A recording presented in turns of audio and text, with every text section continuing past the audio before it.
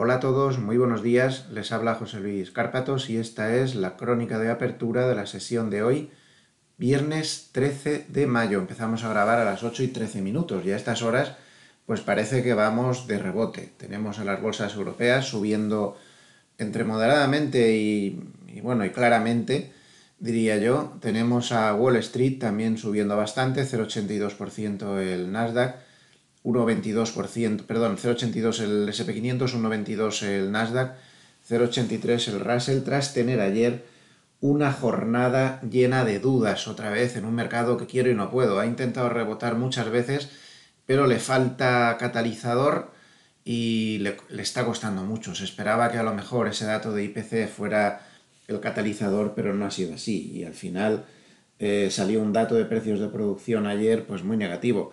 Eh, siguen los temores a la inflación y al crecimiento. Es lo que hay y todo sigue bastante igual. Tenemos en divisas al euro que recupera algunas posiciones hasta 1,04. Cada vez hay más gente que cree que podría llegar a la paridad. A mí me parece que si llegara a la paridad sería una grandísima ocasión de compra por llegada al número psicológico, y más teniendo en cuenta que en divisas, en las caídas, no se produce ese efecto de asimetría que se produce en las bolsas, que caen mucho más rápido de lo que suben.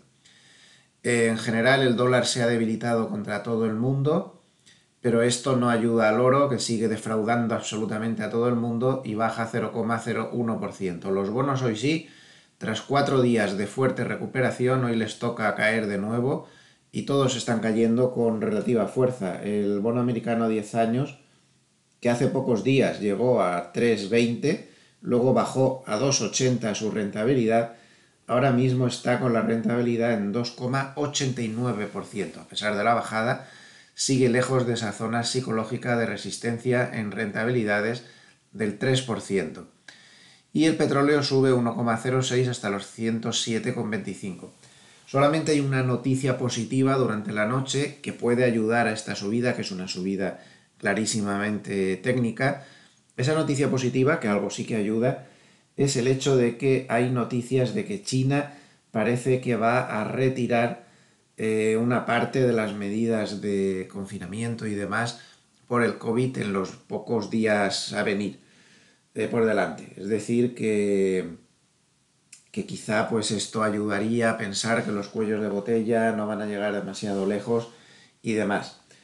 La situación, yo diría que como ya expliqué ayer, es una situación donde el dinero rápido ya se fue, ahora el peligro está en el dinero lento y hoy Harnett decía una cosa importantísima. Y Harnett ya saben que de momento es el único que está acertando desde hace un año. Dice que de capitulación nada de nada porque por cada 100 dólares que han entrado en bolsa en, los últimos, las últimas semanas, solo 4 dólares están siendo retirados. De cada 100, solo 4, es decir, el 4%. Cuando, según sus estudios, en, en tendencias bajistas anteriores, lo que se retiraba era 50 dólares de cada 100.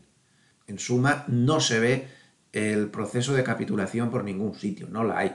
Eh, así que como capacidad de baja del mercado toda la del mundo, pero por otro lado hay otra serie de circunstancias que hemos ido desgranando en los vídeos de los últimos días, que no quiero ponerme pesado, que muestran que todo está a favor ahora mismo para un rebote de grandes dimensiones. Luego ya lo que pase después, si sigue cayendo, ya será harina de otro costal.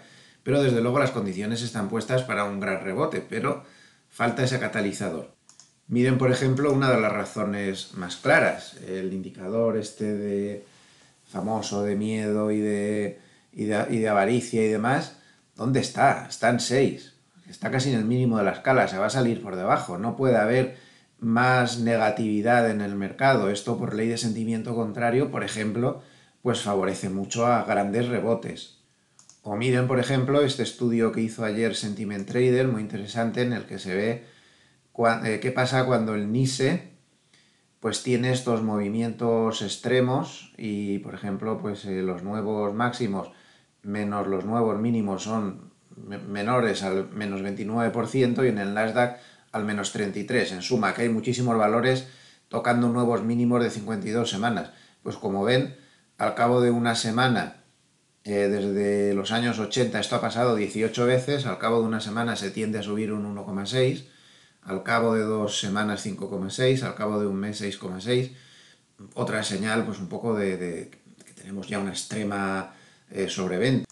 Otra señal rara sobre la que está llamando todo el mundo la atención es que el VIX se está, está teniendo una divergencia. Esto es la escala del VIX inversa. Esto significa que el VIX no está subiendo como suele ser habitual acompañando a las caídas de las bolsas. El VIX se ha quedado detenido en un punto, mientras que el SP500 ha seguido cayendo y eso no es normal, como pueden ver aquí en este gráfico, este es de 0 Hedge, no es normal, siempre van muy pegados a la inversa eh, ambos parámetros. Algo pasa, eh, es todo complicado, pero son muchos indicios de posibilidad de rebote, pero insisto, es que falta ese catalizador. El problema del mercado gordo esto ya lo advertimos hace varias semanas, esto es un gráfico de Yardeni, es este. mercado lo que está es en un proceso de desapalancamiento.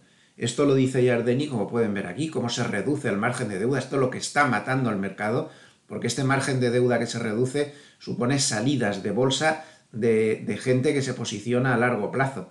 Gente que estaba ahí desde hace mucho y que ahora se está yendo en este proceso de desapalancamiento, que lo ven aquí con la escala un poco menos reducida. Estamos en un proceso de desapalancamiento fuerte, no son tan habituales como podemos ver desde los años 70, y esto es lo que nos está matando. Spot Gadma dice exactamente lo mismo, que estamos en un proceso de desapalancamiento, este es el problema, estas posiciones de largo plazo que se van, porque los vendedores eh, naturales, que es lo que como llama Spot Gamma este proceso, los vendedores naturales que están vendiendo, no el dinero caliente, CTAs y hedge funds, eh, se nota que son ellos los que se van porque no hay movimiento en las opciones. A pesar de la caída que estamos teniendo, nadie compra puts. Eso lo deja muy claro Spot y eso no es normal tampoco. Lo que nos está indicando es que aquí los que están ya están bien cubiertos, con lo cual les da lo mismo que baje o no, y los que se están yendo, pues evidentemente si se han ido, ¿para qué necesitan ya comprar puts? Porque eh, ya no tienen esa posición. Así que estamos en un proceso de fondo peligroso lo que decía ayer, o nos damos la vuelta ya, o esto va a pasar a una estructura bajista ya, mmm, ¿cómo llamarlo? Estructural, muy difícil de salir de ella. Aún estamos a tiempo.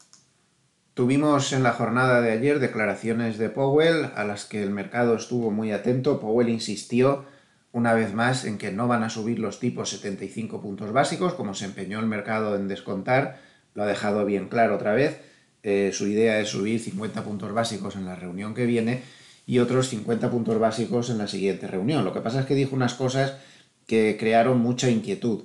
Powell dijo que el combate contra la inflación no iba a ser indoloro, reconociendo que iba a tener consecuencias sobre el crecimiento. Y, pero dijo que dejar correr la inflación sería peor aún. Y es cierto, es que no tienen otra. Pero, eh, ojo lo que dijo a continuación, dijo que no puede garantizar que el aterrizaje que va a causar la subida de tipos de interés sea un aterrizaje suave. Esto inquietó mucho al mercado porque empieza a reconocer la Reserva Federal que no se puede descartar la posibilidad de aterrizaje duro. Eh, todo esto lo dicen porque el SP500 está en 3.957. Como siga cayendo y se vaya a 3.600 o por ahí, ya veremos el discurso cómo va a cambiar, que no les quepa ninguna duda. Desde un punto de vista técnico, y este es el aspecto más importante hoy por hoy, porque por macro esto tiene poco remedio ahora mismo, y a lo que hay que estar atentos es al aspecto técnico. 3.800, soporte mayor de mercado, lo repetimos un día más porque es el 38% de retroceso de Fibonacci de toda la gran subida desde el 21. Ahí está todo el mundo pendiente, 3.800. Por encima de 4.000 se vuelve a respirar otra vez, porque también es un nivel importante ahora de resistencia y si se pierde 3.800, esto se va a 3.500.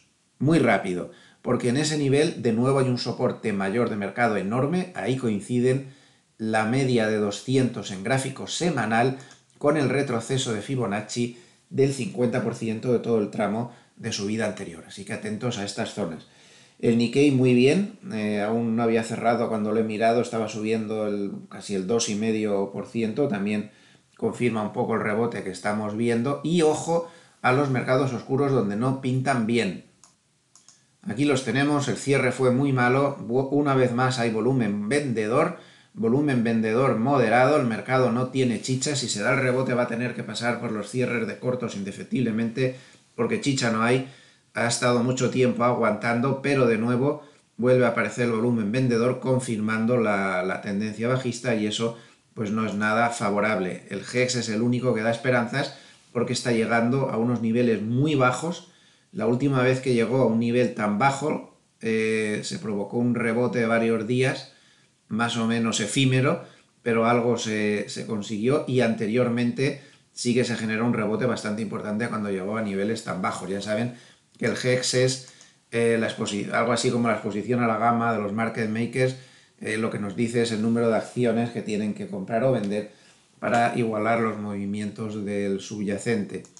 Y no hay nada más, mercado muy difícil, todo puesto para que haya un rebote, pero falta el catalizador, no se puede descartar que sigan las bajadas, imposible saberlo, mercado absolutamente roto, nervioso, y con esos soportes, que es lo más importante ahora, mucho más que la macro, porque la macro no se va a mover en mucho tiempo. 3.800 marca eh, el incremento de la caída ya a niveles peligrosos, eh, por encima de 4.000 se respira.